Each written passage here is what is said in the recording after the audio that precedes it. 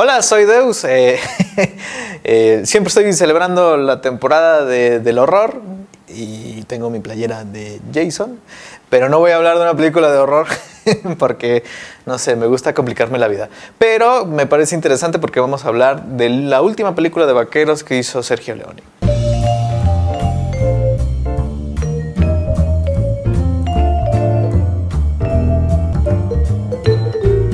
Pesar del éxito de taquilla y crítica de Eras una vez en el oeste en 1969, la película era pésimamente recibida por parte de América en el ámbito crítico, tachando a Leone de seguir con la misma jugada de sus anteriores películas, un hombre disuelto en estas infantilidades que además dañaban la imagen del género de vaqueros como tal.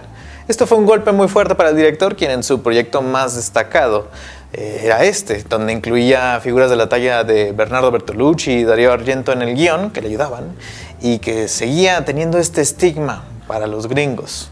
León entonces se pondría a trabajar con varias producciones soñadas, particularmente con una adaptación de En los barrios, la película que lo alejaría del western para asociarlo con el género de crimen, pero el germen de su última instancia en las películas de vaqueros pues ya estaban haciendo desde entonces y fue sin querer. Las ideas de por un puñado de dinamita se comenzaron a gestar en medio de la producción de Eras una vez en el oeste gracias a Sergio Donati, el productor habitual de Leone. Donati quería filmar un western influenciado por los movimientos revolucionarios de 1968 que acontecían a nivel mundial, con ideales basados en la revolución y del nacionalismo de izquierda. Esto le pareció adecuado a Leone, quien ya de por sí era conocido como el sujeto ajeno a Estados Unidos en desfragmentar y desdibujar la condición heroica y noble del western en sus anteriores películas.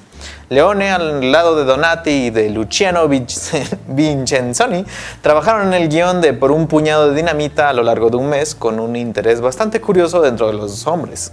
Donati concebía la mayoría de las ideas de Juan y Leone por parte de John. Ahora todo esto era definido, pero Leone no buscaba precisamente dirigir por un puñado de dinamita. Originalmente pues quería ser productor y le encargaba la película a personas como a Peter Bogdanovich, a quien veía como con un potencial gracias a Targets, su película debut de la que pues, era muy fanático. Vean Targets, está muy padre. Bogdanovich eh, desgraciadamente abandonaría el proyecto por la falta de control creativo que tendría en este y se puso a hacer de las Picture Show. Y por un puñado de dinamita pasó entonces a manos de Sam Peckinpah, el otro sujeto rompe idealizaciones del western que trabajaba en Estados Unidos, que además era un borracho y orinón. Pero Peckinpah de por sí, bajo estas condiciones, era un peligro para los estudios, con constantes cambios dentro y fuera de la producción y costos elevados que espantaban a United Artists. Mientras escribía en el guion, también esto sirvió para contemplar el casting. John Mallory originalmente fue contemplado para Jason Roberts, el Cheyenne de Eras una vez en el oeste, pero no parecía suficiente poder de reconocimiento para el estudio, quien estaba adherido a que Clint Eastwood repitiese labores con Sergio Leone, sin saber mucho que eh, que Leone y Eastwood comenzaban ya a tener asperezas desde el final de la trilogía del hombre sin nombre, con el segundo buscando su independencia de los filmes que no eran producidos en su país. En medio de los rechazos, además de George Lazenby, el 007 de Al Servicio Secreto de Su Majestad, es decir, el, James Bond que solo hizo una película, y Malcolm McDowell, eh, el Alex de la Naranja Mecánica, el estudio sugirió a James Coburn. Para el papel de Juan, este originalmente también tenía un actor en mente, que era para Eli Wallach, eh, Tuco, del bueno, el malo y el feo. De hecho, por un puñado de dinamita servía como extensión de su personaje sin precisamente ser secuela. Así es como plantea el universo de las películas de Leone, sin necesidad de tener una cronología ni eventos que conecten uno al otro. Lo interesante es el protagonista envuelto en otro argumento. Pero Wallach tenía interés, precisamente, en filmar una película con Belmondo, de quien hablamos la semana pasada. Aunque la insistencia de Leone lo hizo recapacitar y aceptó el papel solo para ser desechado por United Artists a favor de Rod Steiger, quien era utilizado más para desechar su contrato de exclusividad que por verdadero interés, aunque esto no le evitó ganar 700 mil dólares por contrato, el más fructífero de su carrera, ya que recordemos que Steiger ya había ganado un premio de la Academia por su actuación en Al calor de la noche. Y de hecho, él igual también también salió ganón porque demandaría a la producción y a Sergio Leone por incumplimiento de contrato en lo que viene siendo su segunda demanda, porque pues era medio fallido en este sentido. Al final, Sergio Leone contrató a su asistente de director de todos estos años, a Giancarlo Santi, pero la figura de Leone era contundente. Gracias a él el proyecto nació, se concibió en papel, los estudios estaban interesados y el cast quería trabajar con él, eh, no con Santi, a quienes pues, nadie lo conocía. Esto fue un acto además muy agresivo de parte de Steiger, quien se negaba a filmar con el director puesto, y 10 días comenzaba la producción de Por un puñado de dinamita, Sergio Leone tomaba las riendas de un proyecto para su propio disgusto. La trilogía del hombre sin nombre y Eras una vez en el oeste son claves para entender a Sergio Leone y sus aportaciones en el lenguaje de cámara en películas que además se prestan para homenajear al género madre del cine de vaqueros. Hay algunas instancias de carga política como en El bueno, el malo y el feo trasladándose en la Revolución Norteamericana y Eras una vez en el oeste planteando el origen económico de América moderna bajo los cimientos de criminales bonachones y pues siendo una madre una prostituta.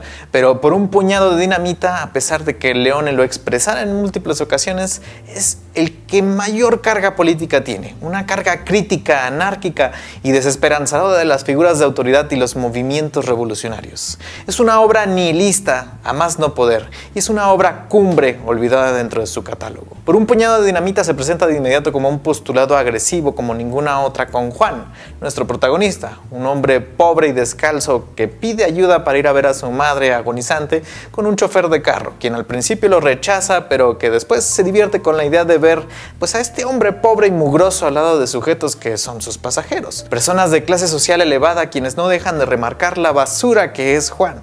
Juan lo único que hace es verlos con pena mientras sus críticas se lanzan al hombre sucio en toda clase de ofensas y mientras comen de manera voraz y obscena en close-ups bastante asquerosos. Pero Juan resulta que no es víctima, todo lo contrario.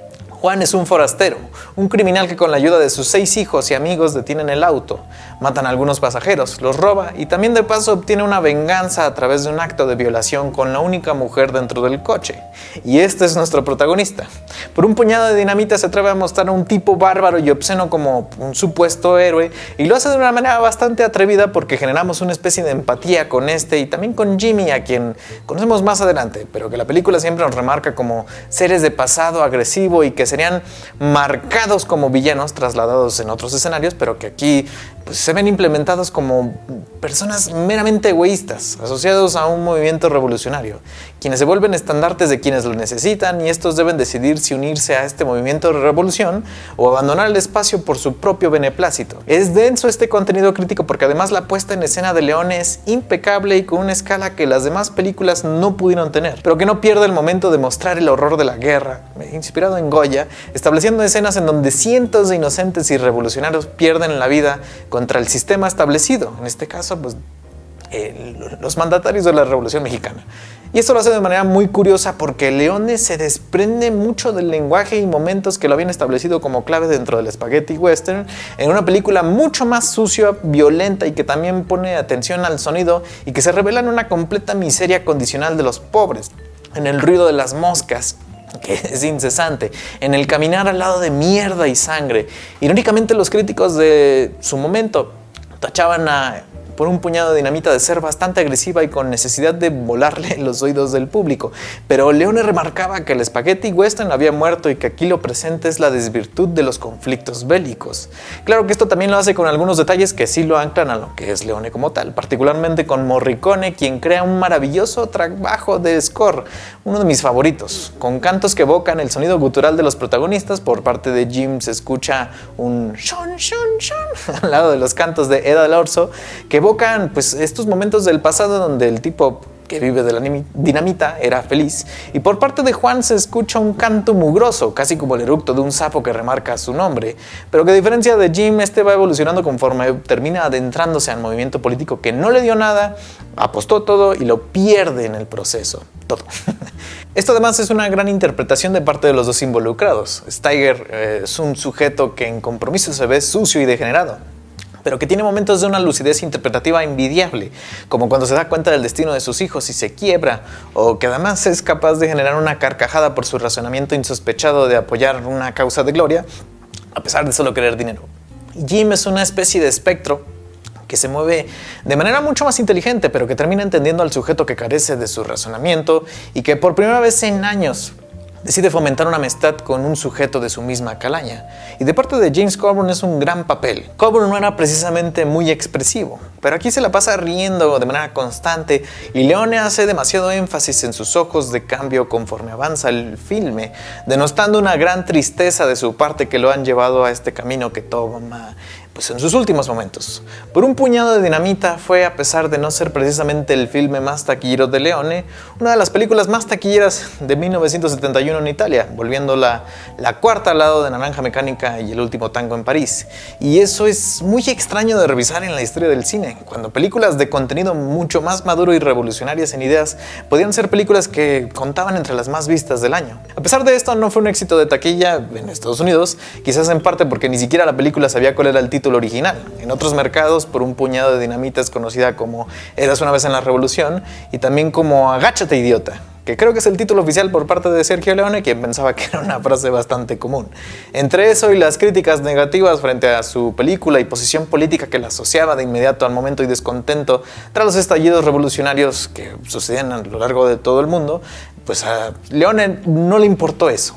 Lo que siguió fueron 13 largos años en donde no filmó, porque buscaba alejarse por completo de estas películas que ya las veía con desdén, buscando proyectos de la talla de adaptaciones de cómics, películas bélicas, remakes de obras sacrosantas de Hollywood como Lo que el viento se llevó, y el largo camino que resultaría ser su última obra maestra. Pero independiente de esto, su postulado con una película de vaqueros que parece amigable y que resulta ser un revoltijo de ideas críticas y pesimistas, es una que merece mayor atención y que probablemente siga pasando desapercibida por otros 50 años. Y eso es una gran pena porque estamos hablando de una película que está a la par de calidad de las una vez en el oeste. Ahí se dan.